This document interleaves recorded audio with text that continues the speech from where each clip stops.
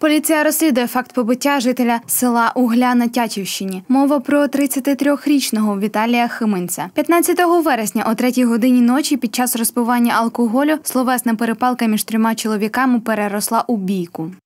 Близько третьої години ночі до поліції надійшло повідомлення про бійку між чоловіками в селі Угля, що на Тячівщині. На місце події негайно прибула слідчо-оперативна група, працівники якої встановили, що е, бійка трапилась між трьома чоловіками, які е, до того разом розпивали спиртні напої. В них е, виник словесний конфлікт, який в подальшому переріс в бійку. Тобто двоє чоловіків нанесли тілесні ушкодження потерпілому. Попередньо тілесні ушкодження є е, середньої, е, середнього ступеня тяжкості. Наразі потерпілий перебуває у Тячівській районній лікарні і стан його задовільний. На даний стан на, на даний час його стан задовільний. Він перебуває на стаціонарному лікуванні, виконуємо всі практично обстеження. І кінцевий діагноз ми йому виставляємо забійні рвані рани голови, сад, садна, садна обличчя, трус головного мозку і перелом спинки носу.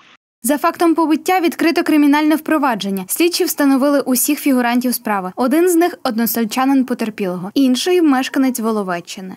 Одне із закарпатських інтернет-видань оприлюднило інформацію, що нібито група чоловіків увірвалася до помешкання громадського активіста Віталія Хименця та вимагали у нього зняти свою кандидатуру на посаду голови Углянської ОТГ, на яку він балотується від однієї з політичних партій. Після відмови його жорстоко побили у власному подвір'ї на очах у всієї родини. Однак побутовий конфлікт нічого спільного з політикою не має. Йдеться про банальну сварку та бійку після розпивання алкоголю.